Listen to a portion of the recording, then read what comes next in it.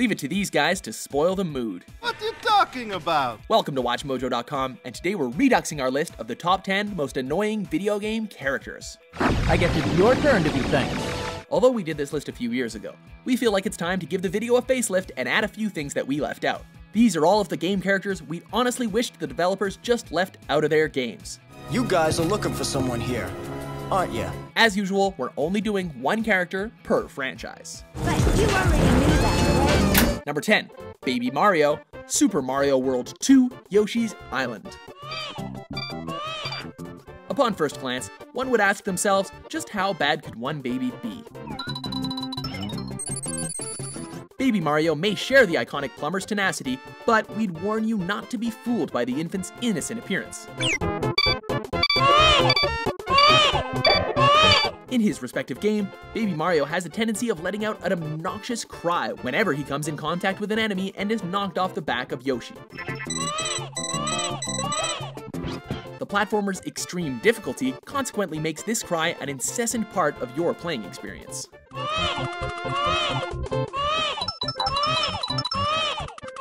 Number 9, Jasper Batt Jr., No More Heroes 2, Desperate Struggle. Travis!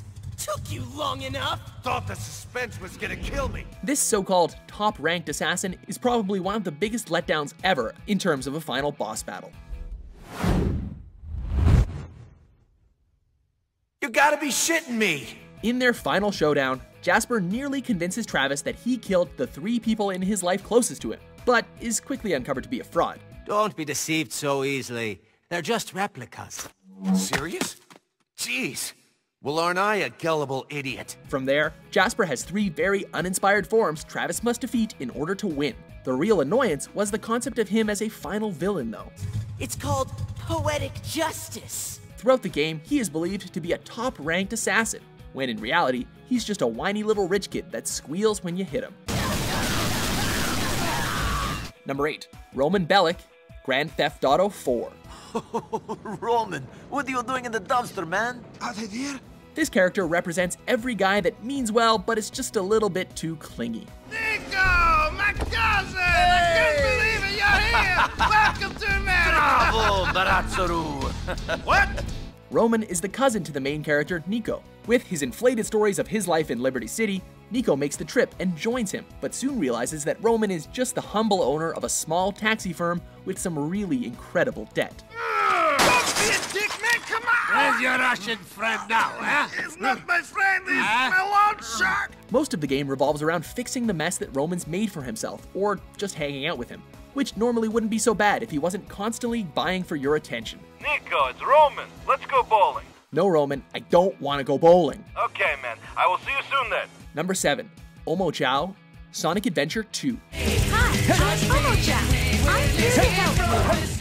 Players will find this little bundle of annoyance offering his assistance to you throughout various tasks and levels. Try whistling here. There must be someone here. What is generally supposed to be help just comes off as a plain nuisance, with the metal chows, overused quotes, and unnecessary commentary. It feels good floating. Bet jumping higher would be a breeze here. In some games, he can even be used as a weapon, but even then he finds ways to be somewhat obnoxious. What are you doing? Why don't get yourself a teddy bear? Although he's appeared throughout the franchise, in Adventure 2, he's often planted square in the middle of the stage, meaning you'll frequently run right into him and initiate dialogue before you know what's happening. Number 6, Slippy Toad, Star Fox series. Uh-oh, I'm in trouble. If we never have to hear this character's voice again, we'd be pretty happy. Fox, get this guy off me. It isn't even Slippy's voice that's the problem, but it's his repetitive and ceaseless dialogue that makes playing experiences nearly unbearable. Oh, there's just something creepy about this guy. Add in the fact that he actually makes the game more difficult with his constant need for help, and you practically want to blow him out of the sky yourself. Whoa! Help me! Thanks, Bot. I thought they had me. Playing through the game on mute may be your only viable option.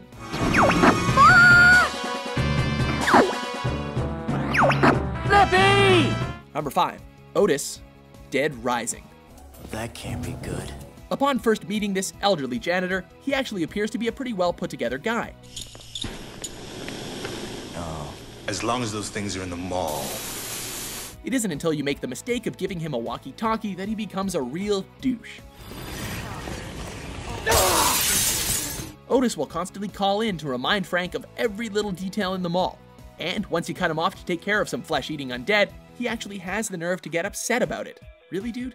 You can't just arrest him? Number 4. Vanille, Final Fantasy XIII.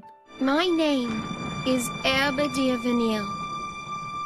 I'm a lassie from Gran Pulse. The Final Fantasy franchise has historically found it necessary to add an upbeat, youthful character to complement the rest of the cast. We think we can speak for a lot of fans when we say that Vanille should have been exempt from this trend.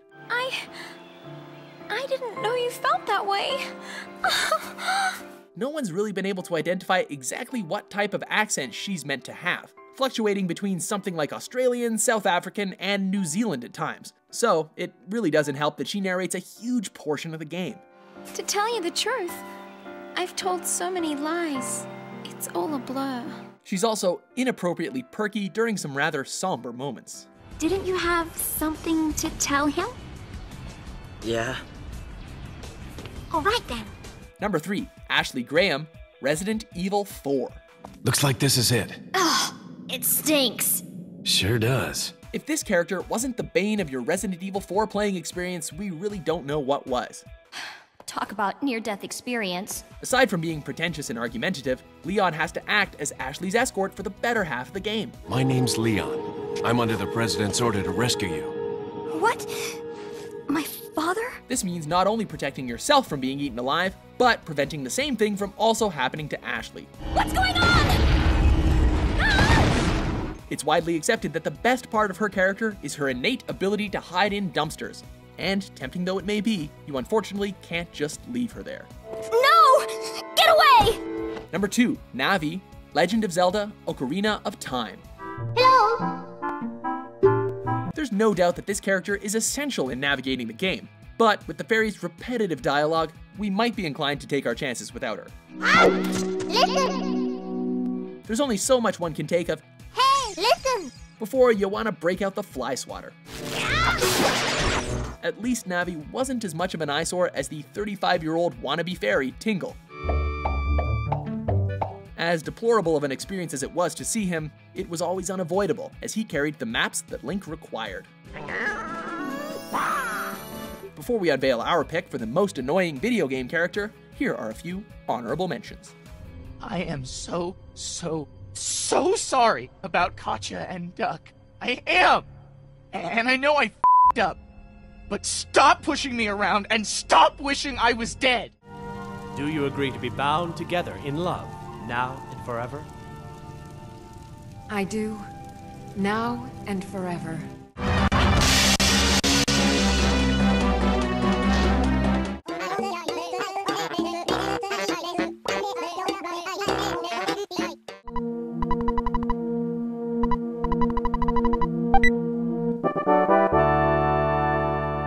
Number 1. The Dog, Duck Hunt. Only thing worse than failure is being mocked for it. Most games offer their players positive reinforcement or encouragement, but Duck Hunt only brought players to the frustrated brink of madness with its addition of the laughing dog. Despite how well you did in the game, once the inevitable occurred and you missed a duck, you were relentlessly mocked by the fiendish canine. This one nameless character turned the innocent shooting simulator into one of gaming's biggest annoyances. Don't lie, you've tried to shoot him at least once or twice. At least now, you can beat the snot out of him in Smash Brothers. I'll teach you to laugh. Do you agree with our list? Yeah, fantastic. Which video game character made you want to pull your hair out? For more awesome top 10s published every day, be sure to subscribe to WatchMojo.com. Uh, Leon, what's gonna happen to us? Don't worry. We got into this mess, we can get out of it.